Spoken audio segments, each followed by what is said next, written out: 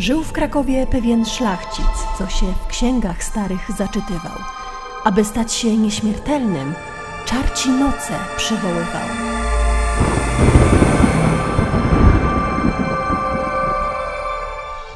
Pan Twardowski, bo to o nim mowa i nie chodzi tu o poetę, tylko o maga żyjącego w średniowieczu, mającego konszachty z szatanem. Z tego też względu nie był za bardzo lubiany przez współczesnych mu ludzi. Kim był i czy w ogóle był? O tym w dzisiejszym odcinku.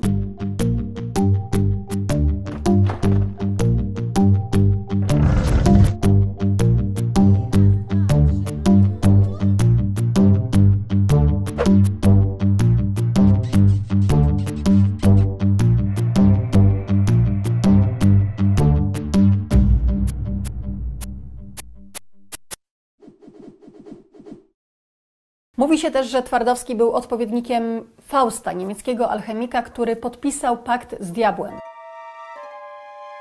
Johann Georg Faust urodził się w Wittenberdze w roku 1480 jako Georg Zabel.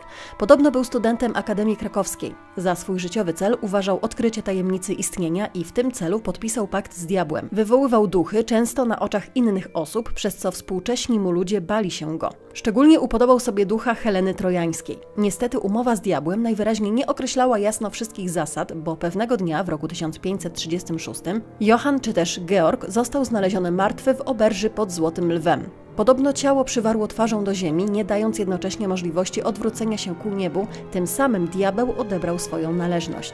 Faust stał się bohaterem wielu utworów literackich i muzycznych. Jeden z nich jest autorstwa Johanna Wolfganga von Goethe. To tam, po tym jak Faust podpisał pakt z diabłem, pada słynne zdanie Trwaj chwilo, jesteś piękna.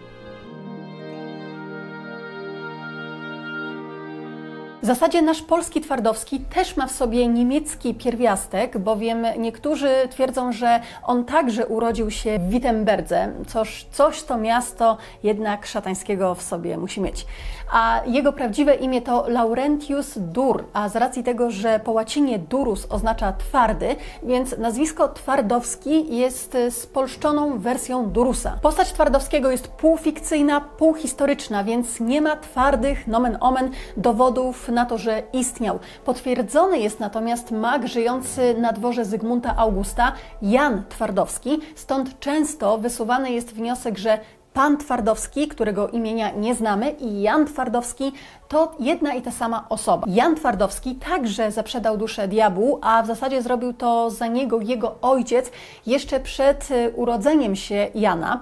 Mężczyzna był chory i straszliwie cierpiał, więc y, aby ulżyć sobie w cierpieniach, zwrócił się z propozycją do diabła, że w zamian za ulgę w katuszach odda mu duszę swojego nienarodzonego jeszcze syna.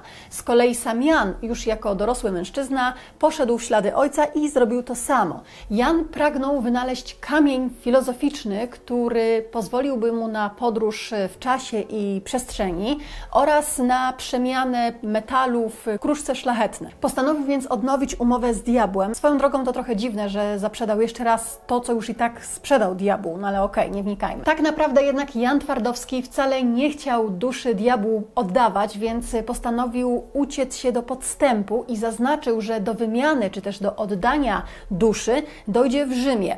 Jednocześnie postanowił nigdy do Rzymu się nie udawać, stąd też do realizacji transakcji nigdy miało nie dojść. Niestety trafiła kosa na kamień i tu wcale nie filozoficzny. Nie od dziś wiadomo, że pośpiech jest złym doradcą i tak właśnie było w tym przypadku. Twardowski był przebiegły, ale nie bardziej niż diabeł, który w końcu odebrał swoją należność. A jak? O tym później. Tymczasem wróćmy do Krakowa.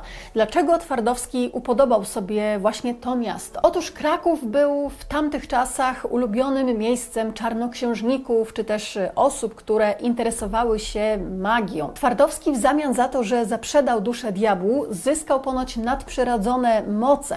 Potrafił na przykład płynąć Wisłą pod prąd, łódką, która nie miała rozłożonych żagli, ale najbardziej znanym jego czynem miało być wywołanie ducha żony Zygmunta Augusta. Barbara Radziwiłłówna, bowiem o niej mowa, była drugą żoną Zygmunta Augusta, czyli ostatniego króla z dynastii Jagiellonów.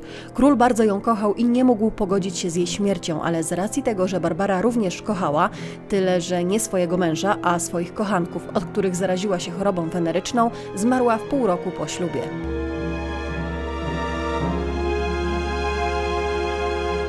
Twardowski wywołał ducha zmarłej Barbary za pomocą swego zwierciadła, które to posiadało moc przywoływania zmarłych z zaświatów, ale i także można w nim było zobaczyć przyszłość. Wykonane ono było, a w zasadzie jest, z metalu, prawdopodobnie ze stopu złota i srebra. Dlaczego jest? Bo lustro istnieje do dziś i znajduje się w bazylice w Węgrowie. Ponoć faktycznie Zygmunt August zobaczył ducha Barbary i kiedy chciał się rzucić na jej powitanie, wówczas w pokoju zgasła świeca i zjawa zniknęła. Co ciekawe, postacią, która się okazała, naprawdę była Barbara. Sęk w tym, że nie Radziwiłłówna, tylko Barbara Była ona uderzająco podobna do Barbary Radziwiłłówny.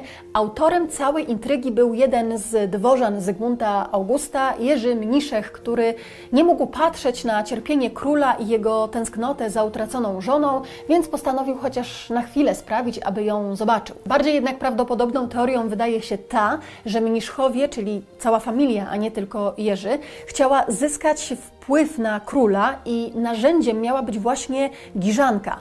W tę intrygę został wciągnięty Twardowski. O dziwo jednak po tym całym seansie Zygmunt August y, zapoznał się z Barbarą Giżanką i zapałał do niej gorącym uczuciem, czyli plan Mniszchów się powiódł. Dziewięć miesięcy później Giżanka urodziła dziecko, córkę. Prawdopodobnie ojcem był właśnie Zygmunt August. Tak więc dynastia Gielonów być może wcale nie wymarła, kto wie, może ich potomkowie żyją do dziś. Ale wiadomo, nie było to dziecko z prawego łoża, więc i tak córka ta nie mogłaby zasiąść na tronie. Narodziny dziecka nie scementowały jednak związku Giżanki i Zygmunta. Król zdradzał Barbarę z, najpierw z Anną Zajączkowską, a potem jeszcze z innymi kobietami. Tymczasem co u Twardowskiego? Twardowski musiał uciekać, gdyż popadł w niełaskę z rodziną Mniszchów. Przed ucieczką postanowił jednak ukryć swoje drogocenne lustro. Twardowski miał je podczas ucieczki przekazać biskupowi Krasińskiemu, czyli ówczesnemu właścicielowi Węgrowa. Sam Twardowski natomiast, szukając schronienia, ukrył się w karczmie i kiedy myślał, że jest już bezpieczny, nagle zjawił się diabeł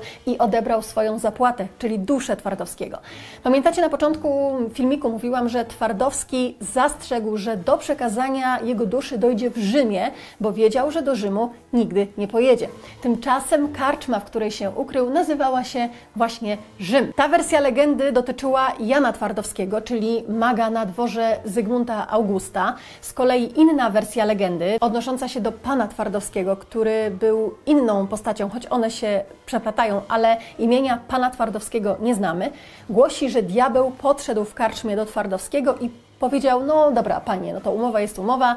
Umawialiśmy się, że Rzym to jest Rzym, więc proszę o twoją duszę. Na to Twardowski powiedział, że owszem, ale w umowie było dokładnie określone, że oddam swoją duszę, gdy w Rzymie wypowiesz moje imię, a imienia pana Twardowskiego nikt nie znał, nawet sam szatan.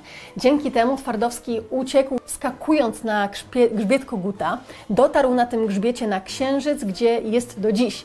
Tylko czasem jego wysłannik w postaci pająka przybywa na ziemię do Krakowa po garść plotek, które następnie zanosi Twardowskiemu. Jeszcze kilka słów na temat samego lustra Twardowskiego. Podobnie jak jego właściciel, ono również doczekało się wielu legend na swój temat. Podobno na lustrze widnieją wizerunki dwóch postaci, kobiety i diabła, ale nie są one widoczne gołym okiem. Można je zobaczyć dopiero pod wpływem silnego strumienia światła. I podobno rzeczywiście wiele osób dostrzegło te postaci, ale weźmy pod uwagę, że to lustro wykonane jest ze złota i srebra, z kruszców, które się utleniają, więc pod wpływem tego utlenienia mogło właśnie dojść do mm, pokazania się pewnych y, postaci, które w połączeniu z bujną wyobraźnią przypominają właśnie kobietę i diabła. Więcej legend natomiast jest w związku z trzema pęknięciami na lustrze.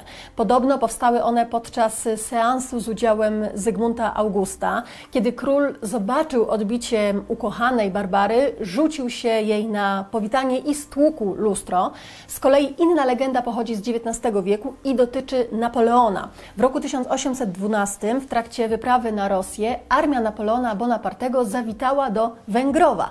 Kiedy wódz dowiedział się o lustrze, które ponoć przepowiada przyszłość, postanowił sprawdzić to na własne oczy. Niestety wizja nie była dla Napoleona łaskawa, bo ukazywała jego klęskę. Rozwścieczony cesarz cisnął w lustro kluczami, wskutek czego lustro pękło. Lustro nadal wisi w Węgrowie, kościele i co ciekawe, jest powieszone pod takim kątem, że niemożliwym jest zobaczenie w nim własnego odbicia. Zabieg ten jest celowy, bo ponoć jak się przyjrzymy w lustrze, to może nam się ukazać szatan.